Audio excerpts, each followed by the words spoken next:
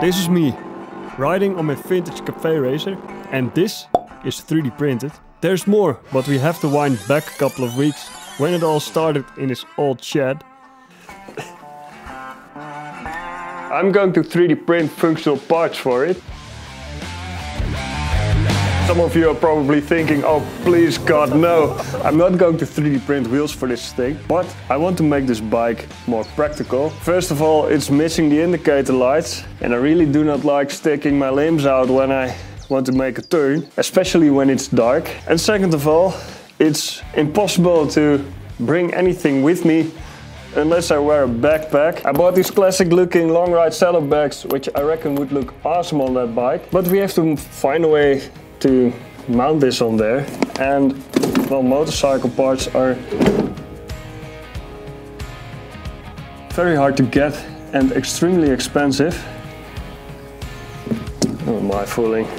This is not about motorcycle parts being expensive. In my previous video I've shown this system which I want to turn into a ecosystem and I think it would be interesting and awesome to actually apply this system for, for this bike and see if we can mount saddlebags on there. I'm not going to 3D print it out of this fluor green PLA, but out of Luvocom nylon with carbon fiber from 3D for Makers. And this is the strongest, toughest material that I am able to print. And I've printed that on the Optimus P1 using the E3D Revo Hemera XS with a Revo adapter so I could mount a Dropeffect ring heater and use a Bondtech 1mm CHT nozzle and these parts they are incredibly tough and especially very stiff and to make it stronger I've annealed them so I had to buy an oven. Oven! It also makes it possible to uh, keep it constantly under tension without creep. I also printed this indicator light out of resin, which fits on the end of this frame. And the idea is to make a frame like this, mount this to the front of the bike with two of these indicator lights. And then we are going to make the rest for these saddlebags and that will be the um, well, the more uh, challenging part of this story. Okay, let's start off easy with the indicator lights on the front. We need five of these standard segments and two well, custom segments. These are mounted to the fork on the front of the bike. This is not held together well, sort of held together with these brass tubes, but it's not tensioned with this, but I will show you that later. Still, the tube doesn't fit perfectly in there because this is printed with that one millimeter nozzle. There are some irregularities in here. So I've printed this. Uh, it also has mounting option here, so you can mount a diamond or this, uh, a file, a 4mm chainsaw file, which we can use to file this and make this smooth so these brass tubes fit in there perfectly.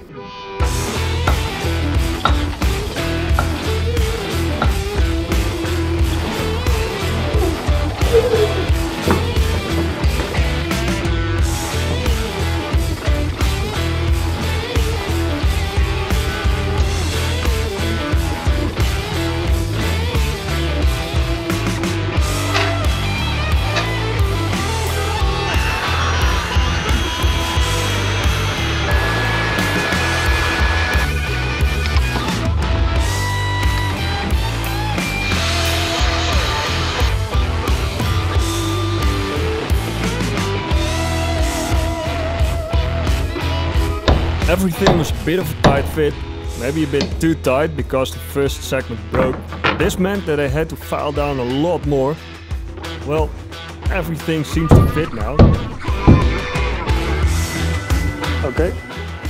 Okay, I think I came up with an interesting way of tensioning this. With this design, it's tensioned with these three threaded rods. But these rods aren't tensioned, but it's tensioned from the center. And I'm using this aramid fiber, which is very easy to work with and to put it in there.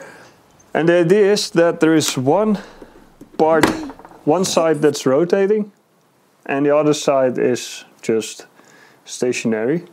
And with this tool, I can just make this tool with this. Uh, this is core from standard electrical wire. Now I should be able to start twisting And the nice thing about aramid fiber or Kevlar is that this is extremely strong. So this should, well, tension it quite a bit. it's already, uh, okay, just a precaution. Wow, yeah, how far are we going to stretch it? What? Fuck me, no. Shit. Uh, okay. Well. Oh, good. It is tensioning, so that's the good news. The bad news is that I destroyed my tensioning system. It didn't make a replacement part. Godverdomme. I decided to take the bike apart first. I had to remove quite a lot in order to get to the electronics, even the gas tank. I had to figure out how the wiring system worked. The man I bought it from said that the wiring for the indicator lights was partly done. The switch was already there. After I found the right wire, the lights turned on, but didn't blink. I thought that it needed to draw more power, or that the relay itself was broken. Then I found out that these relays do have a polarity, and yes, that was it.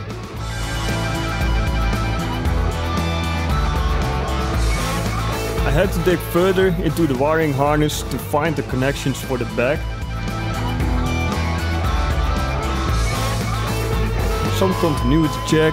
I dug more to find a decent ground connection, which, well, I ended up redoing most of the ground connections. Yes, I know that this is not the right tool for it. I prepared the rest of the harness to make it work for the indicator lights.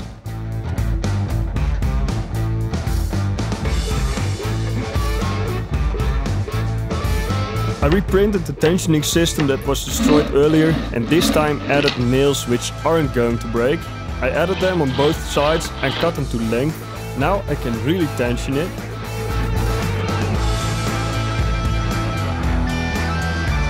I mounted the assembly to the front and now it's time to assemble the indicator lights.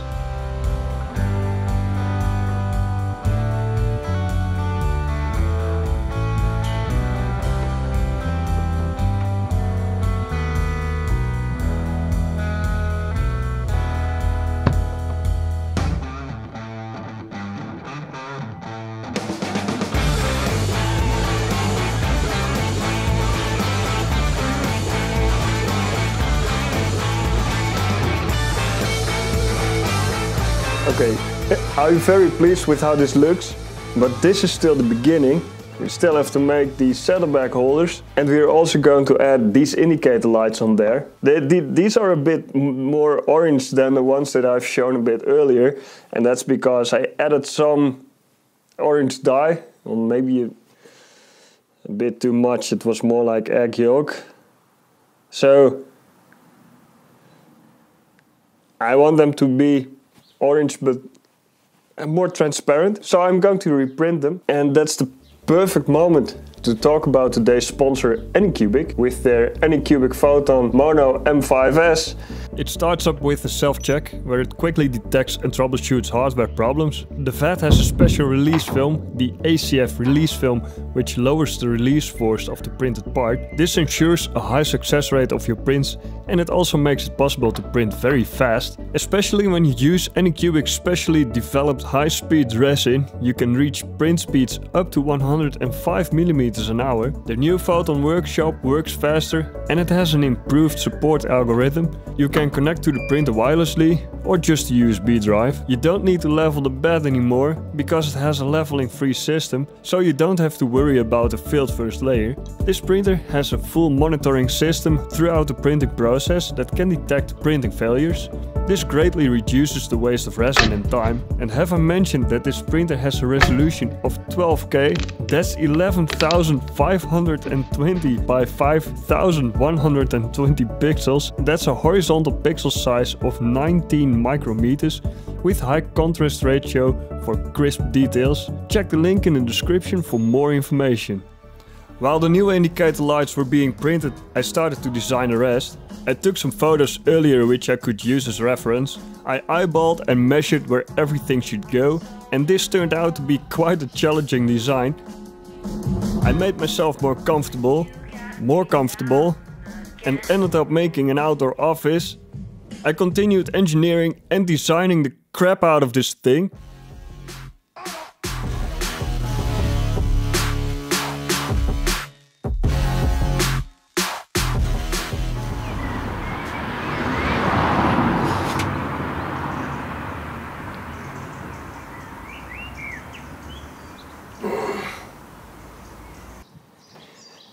Do you know that situation where a designer designs something very nice and the engineer has to abide and somehow has to make things work? seamless zero button design.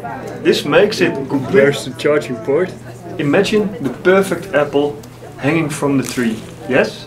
Yes. Now, imagine it with a charging port. But this needs power uh, how are we going to... You have to look through the obstacles in order to see the beauty that lies behind them.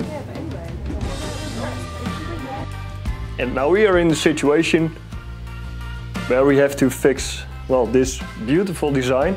It has these beautiful round curves. Um, I wanted to make it straight, but this looks better. And I also think it's a fun challenge. Well, fun is maybe not the right word. It's a challenge to bend these brass tubes like this. These are modular vice jaws. Here are some magnets. And we can just add these modules. This is just a standard soft jaw uh, made for 4 millimeters. So I can, um,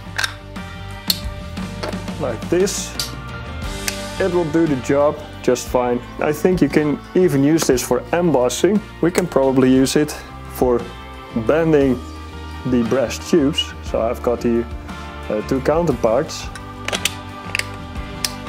and they will just go together like this. Let's see if we can bend some brass tubes in here. I added steel wire in here to prevent it from uh, collapsing and I marked the halfway point. Let's see what happens. Okay, goes nicely in here. So nicely in there. Yes. And this is the smallest bend. That requires more force. Sounds like a single-use part. And I think if I whack it with a hammer on this side, so just piece of wood. Alright. Fingers crossed.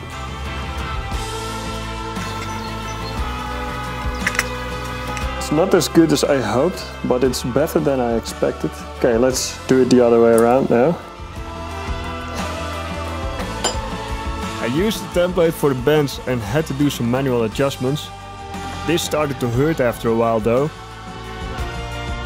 I yanked out the steel wire, bent more tubes and put together the first part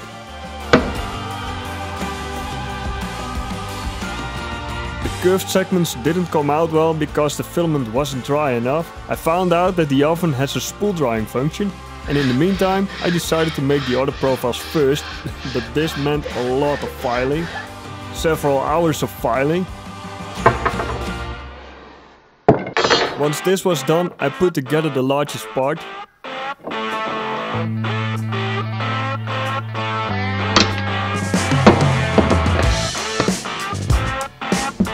That seemed to fit.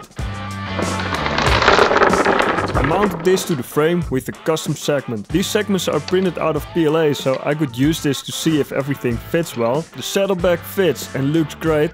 The saddle itself fits and the profile doesn't poke my leg. I put together the bottom part which fitted as well. Did some further checks and unfortunately not everything fits. Good thing I used PLA. Made notes of everything that had to be modified and that was two days ago. I redesigned the parts and started a new print and this time I printed everything out of nylon with carbon fiber. because I'm confident that this time the parts are correct. Um, it is a quite a long print and everything should be finished by now. So right now I'm taking the Mercedes for a spin to the studio and we will find out.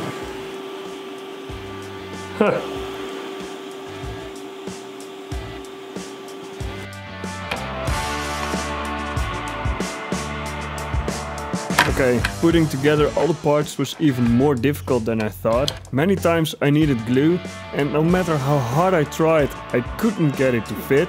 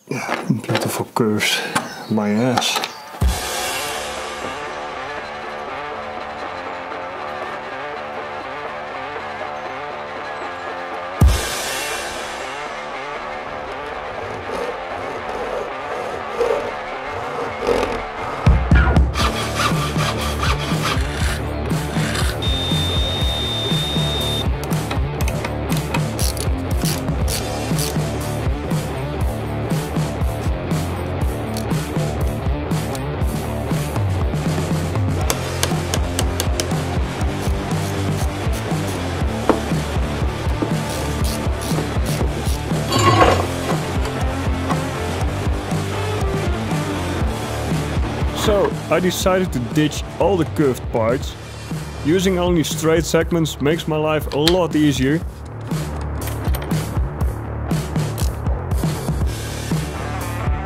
They say if you cannot make it accurate enough, make it adjustable. So I designed these adjustable corner pieces. I want to say special thanks to my Patreon supporters, especially these guys. Your support helps a lot with these projects. Okay, let's put the rest of this frame together.